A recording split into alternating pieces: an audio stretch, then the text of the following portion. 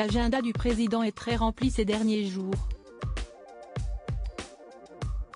Alors qu'Emmanuel Macron était présent au couronnement du roi Charles III le 6 mai, en plein préparatif du sommet Choose France, il a reçu le président ukrainien à l'Élysée.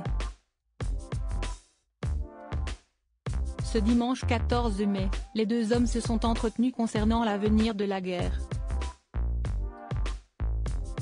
Ce lundi 15 mai, le chef de l'État a reçu de nombreux chefs d'entreprise dont Elon Musk, le patron de Twitter et Tesla, pour discuter de l'attractivité de la France et de ses industries.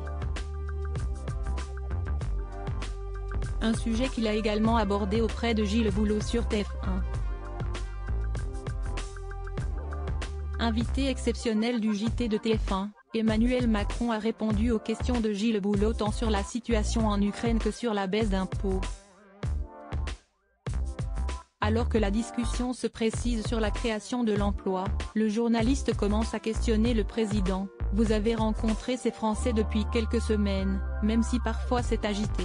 Le présentateur de TF1 se fait interrompre par Emmanuel Macron, visiblement agacé, qui rétorque, quelques années. Gilles Boulot ne semble pas perturbé et répond, plus précisément depuis quelques semaines,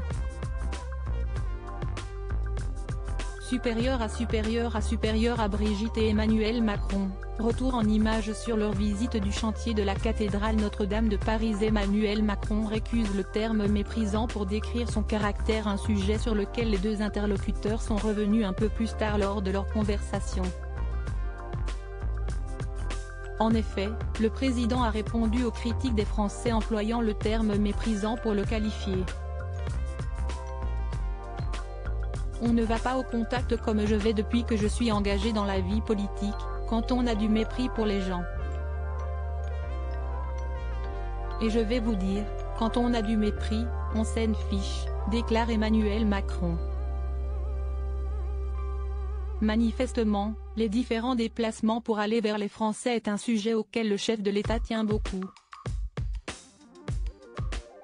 Article écrit en collaboration avec 6 médias. Crédit photo, capture d'écran TF1.